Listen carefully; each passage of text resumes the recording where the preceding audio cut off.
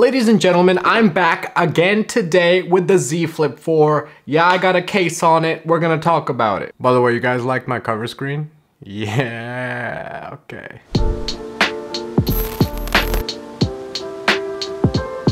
Now, before I begin, one thing I want to say is that look, this is not just a foldable phone. You're gonna get a ton of reviewers like me that are gonna hate on the Z Flip 4 like I am today. Today we're gonna talk about all the five biggest problems I've had with this phone. We're gonna get into it. But don't get carried into the argument that this is not a flagship device. I was stuck to the Z Flip 3 all last year and that truly kind of fell short but things have changed with the Z Flip 4. It's got a 120 hertz display. It's water resistant. By the way, not dust resistant just to be clear. It's got wireless charging, it's got reverse wireless charging. And new this year, it also has fast charging. It's got Dolby Atmos, and it's got a 6.7 inch screen, obviously when it's folded out, which is gorgeous. It's one of my favorite screens ever. It is an OLED panel. Yeah, it's not as sharp as something like the S22 Ultra, but the fact that we're even comparing it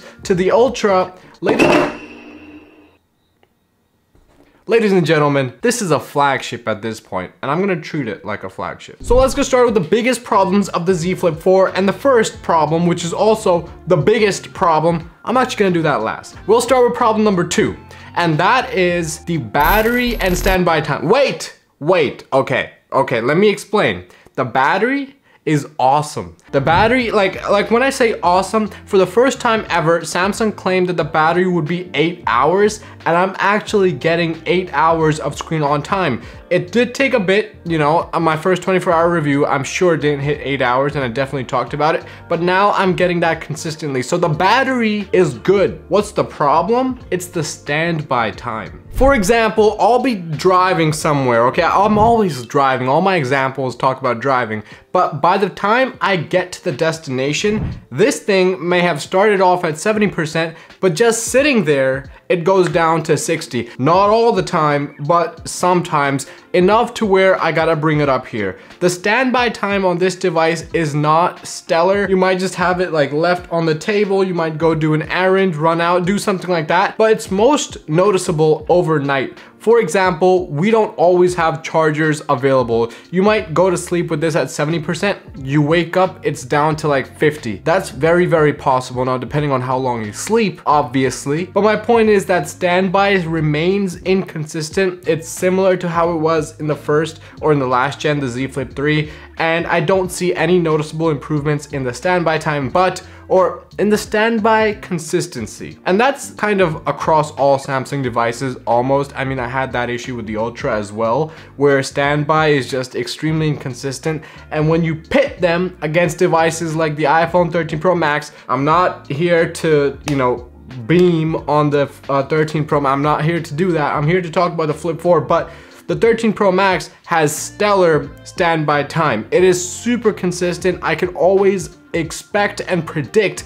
what the battery level is going to be. You can't really do that with the Z Flip 4. But we do have to give credit where credit is due. Samsung made the battery bigger while still keeping that ultra thin form factor, but also the fact that this processor is so much newer, I mean, again, we're going back to that flagship thing. This is a proper flagship. We're using the latest processors and they're evidently using that battery super efficiently. So, but oh my God, I'm not here to talk about the things I like. That's a separate video. Let's go on with thing number two, the second biggest problem. Before we get into the second biggest problem, make sure to smash that subscribe button because it really helps grow the small channel like mine. And also don't forget to hit the like button if you like this video. Smash the dislike if you dislike it, but let me know in the comment section below how I can improve.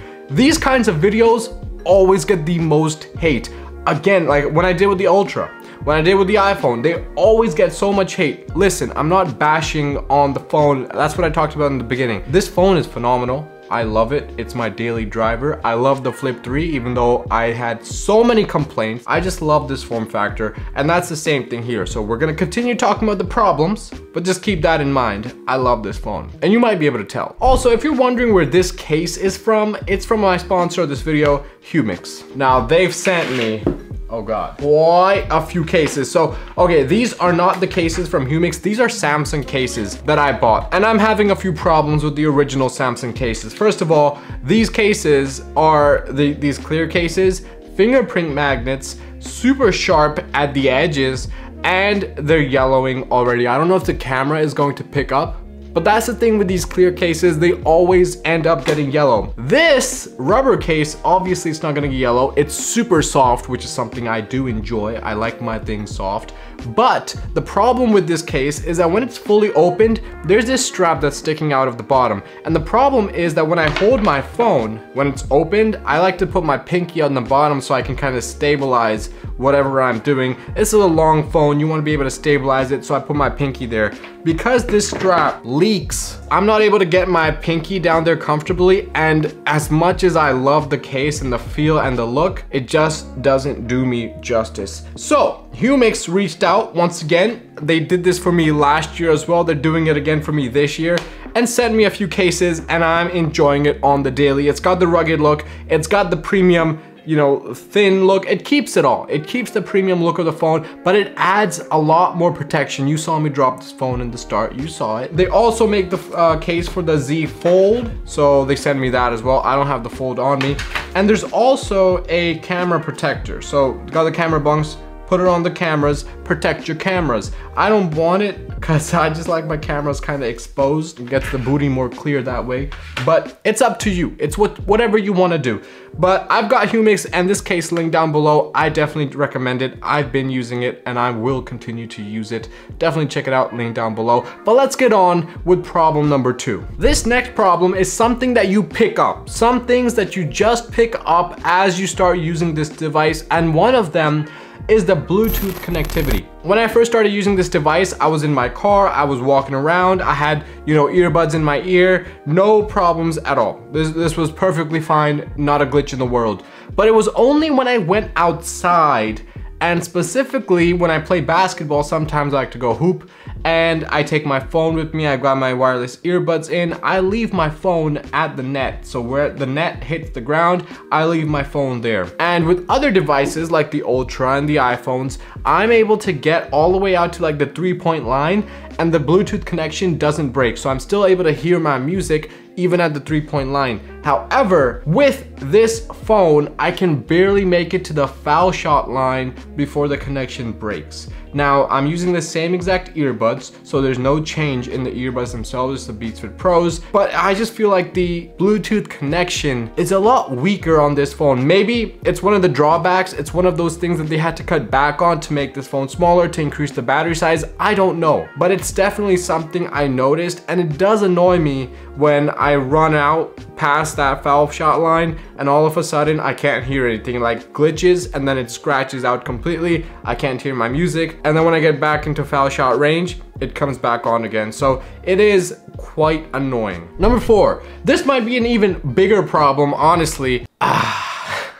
This is this this one's kind of annoying. And this is kind of specific to Samsung. OnePlus and like other Android devices don't really have this issue. And what I'm talking about is file transfers. Now you see, a lot of people are having a similar kind of issue with Smart Switch where transferring data from another phone to this phone isn't going as well as they liked, but that was not the case with me. When I traded in my S22 Plus and I transferred all the data from that over to this using Smart Switch, I had absolutely no problems. Obviously I had to log into like my Instagram account and my Twitter account again, but it loaded up my entire Gmail list and everything. So no problems with Smart Switch, but the problem is when I take pictures outside, when I take videos, sometimes I like to use my phone as B-roll. I like to take B-roll with my phone. I like to go out and get content for you guys, whether it's for Instagram, YouTube, Snapchat, I don't have that. Anyways, the problem arises when I want to transfer this video or this image over to my computer as fast as possible because that's where the editing is happening.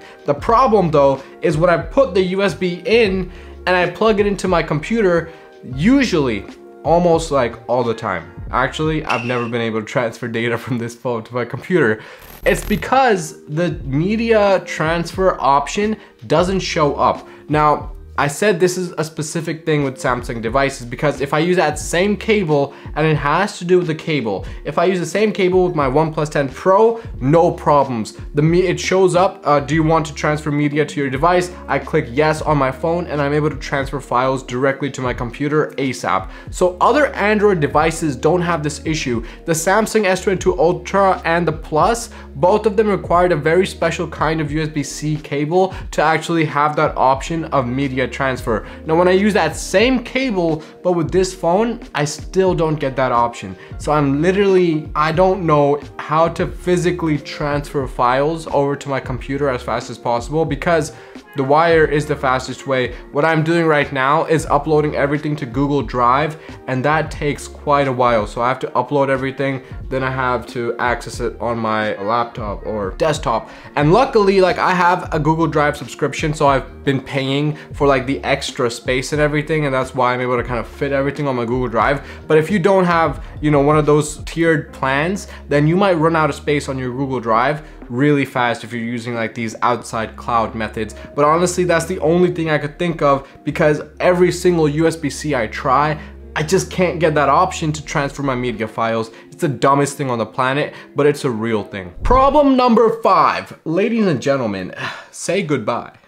There is no more of that. Remember last year with the Z Flip 3, the hinge wasn't so tight, so you could like do the flossy Carter. I call it, it's the flossy Carter at that point. You could be flossy Carter and flip your phone open because you had the balls to do that. Well, ladies and gentlemen, this season, Z Flip 4, you cannot do that because the hinge is very tight. Now there's benefits obviously and drawbacks. This is water resistant, more water resistant than last year's, but Samsung does say it's still not dust resistant, so don't take it to the beach or anything like that. But the fact that the hinge is more tight obviously kind of makes it feel a lot more secure. There's no wiggle absolutely no wiggle. Last year, there was a little bit of leeway. There was a little bit of that wiggle wherever you kind of left your phone, but this year it's obviously a much tighter device. Now we'll find out after a few months if it gets loose, you know, if it starts shaking around a little bit. But for now, it's remaining very, very tight. But the problem is that now if you want to open your device, you're gonna have to use two hands. You're gonna have to find your hand somewhere. If your hand is busy, you know, you know, you're gonna have to like innovate to get your content, to get the phone open. So it is a thing. Now closing it, one hand is still perfectly fine. So to open it, you're gonna have to use two hands. To close it, you can still use one. Considerable difference because I did see like two people. I know like seven or eight people that have the Z Flip 3. I only know two of them that in front of us, they just flip the phone open. So yeah, that's the fifth problem. The fact that you gotta use two hands to open. But let's go back to the biggest problem. Problem number one, the problem that I skipped. The problem I have with this device and with Samsung in general, I'm a Samsung fanboy, we've made that clear, this channel should make that clear, is that there is no significant upgrade over last year's generation to this year's gen. Now, I started off by saying this is a flagship and it truly is latest processor 120 hertz. We got the water resistance. We got the dust not really resistance. We got the oled display 6.7 inches and there's a lot to love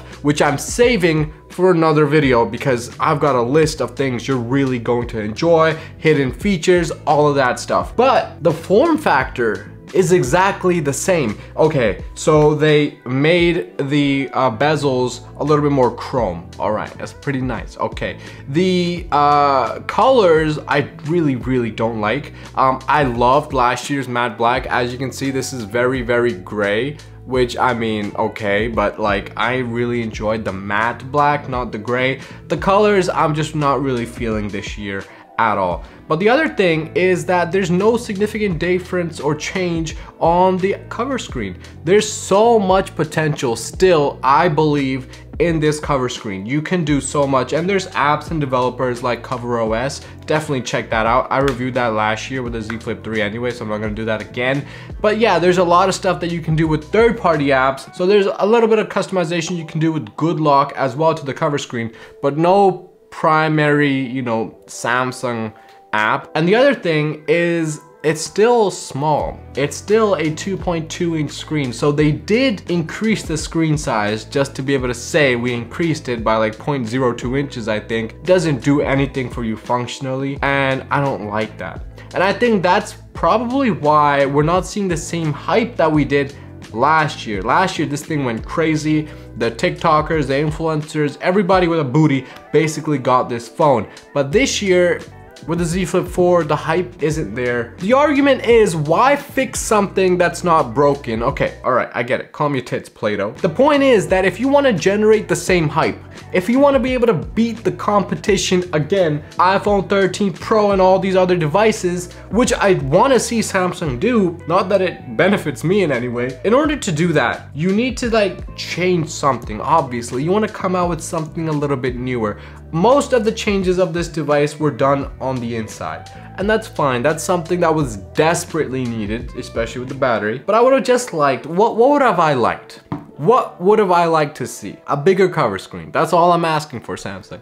All I'm asking is that you double the size. And part of what disappoints me about this is that we saw a lot of renders, we saw a lot of copyright stuff from Samsung that was coming out with these designs of having a camera in the hinge. Like there was stuff going down. There was also the fact that we might get an under-screen uh, front-facing camera, kind of like the Fold has. None of that happened. Even the screen still has that disgusting be plastic bezel that goes all around and it has that screen protector that's still very, very visible. Those are just things that I wish Samsung would be able to get, you know, over at this point. I don't want to see a screen protector every time I look. I don't want this fat plastic bezel, which is important because if you ever put your phone straight down, that glass is extremely thin, it's gonna crack. Okay, so, but, but just some sort of other implementation, I don't know. I'm not paid for that. I'm just here to tell you my advice. But by the way, what hasn't changed, this screen is still a dust magnet. Every little thing gets trapped on the screen. And part of the reason for that, let me see if I can show you guys. And there's that crease, but you crease you don't notice. It's kind of similar to last year's, maybe exactly the same, but you really don't notice when you have your content running. And I didn't even notice on the Z Flip 3, so that's not something I'm gonna complain about.